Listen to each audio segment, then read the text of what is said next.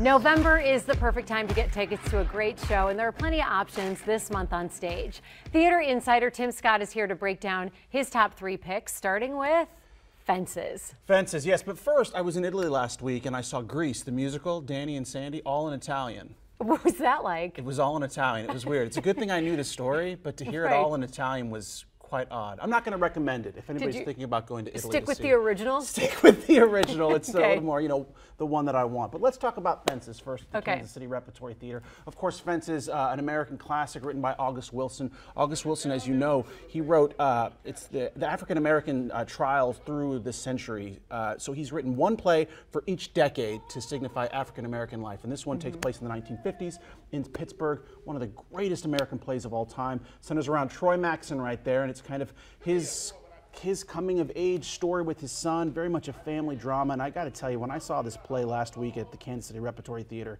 it was just stunning. Jack Magaw's sets were just so incredible. I felt like I was in New York watching a Broadway production. Really? Very, very talented cast. Rufus Burns there uh, plays his son, uh, Corey. Very talented ensemble. Um, a couple local actors, some people from out of town. But what a great American play being produced at a very, very high level at the Kansas City Repertory Theater. Disgraced is another heavy hitter. Absolutely, right absolutely. Disgraced at the Unicorn Theater by Ayad Akhtar won the Pulitzer Prize a few years ago as well. And this is a story, it's a very important story being told in America right now about, you know, uh, the, the lead character is from Pakistan and it, it deals with, you know, race and identity and stuff like this. And I was just so impacted by how profound the play is. And the story being told is a very important story in America about, you know, Middle Easterners and how they fit in in America. Mm-hmm. And, how he thought he fit in, and yeah, that his, changed. his own perception of himself and, and the pride of being Islamic and how that relates to American society and 9 11. So I got to tell you, uh, a lot of these stories are being told in theater nowadays uh, in, the, in the recent years, and the Unicorn Theater puts on a brilliant production of Disgraced, a very important play that runs for a few more weeks. And I, I was. I was impacted by it. I mean, I didn't mm-hmm. know what the story was going to unfold to become, and it was. I mean, it was. It was very powerful.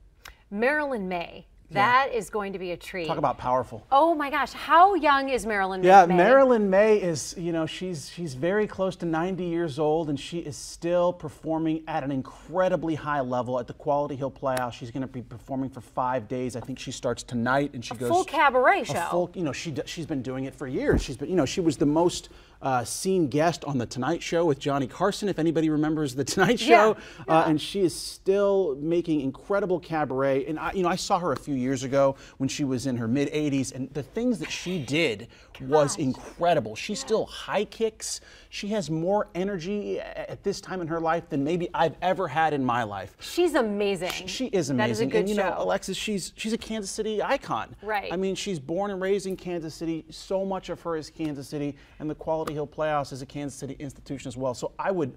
I would strongly recommend Yeah. you get a chance to go see Marilyn Maye, who's been doing cabaret at a high level and reinventing herself for decades, and then see Fences at the Kansas City Repertory Theater, and of course, Disgraced, Disgrace. at the Unicorn Those are three Theater. home runs. Yeah. Theater insider Tim Scott, thank you very much. Thank you.